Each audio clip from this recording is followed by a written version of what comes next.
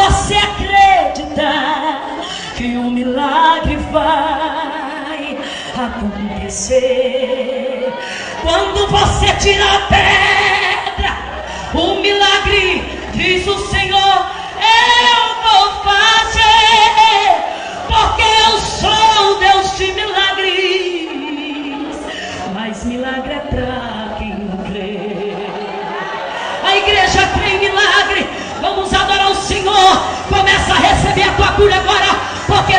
anjo, tem anjo.